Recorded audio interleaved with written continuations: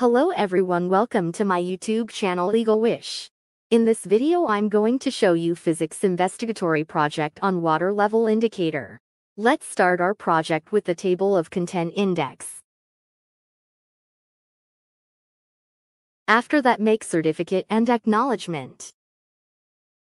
Try to make your project in neat and clean manner.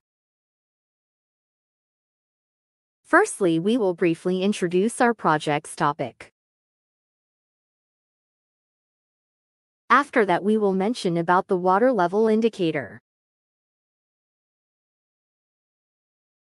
After that we will write about the purpose of water level indicator. What is probe sensor?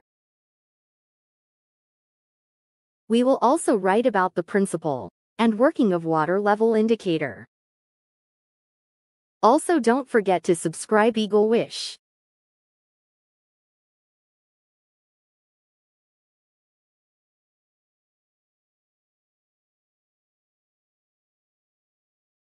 We can also mention about the application of water level indicator.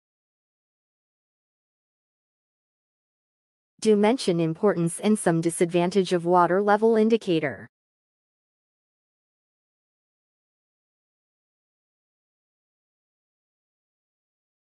At last we will write the bibliography of our project and like this video.